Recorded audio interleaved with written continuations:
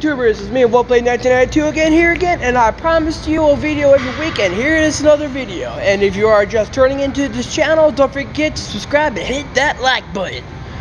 And of course, so no doubt though, my last update was of course a gym update. And of course, so this was going to let you know of, of course, another gym update, but let you know of my goal so far.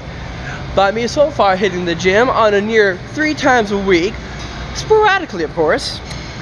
I have dropped a total of significantly, in my opinion, a good six and a half pounds. Now, of course, though, it's only like a slow and steady goal, but still, though, I'm getting there. I'm getting there, and I'm quite happy. But other than that, though, as always, uh, if you also want to check out one of my Wolf, uh, Wolf Out shirts, I'm going to put a link in the description box down below, so that way you can see one of my Wolf Out shirts, and you can Wolf Out with, uh, Wolf Out with me.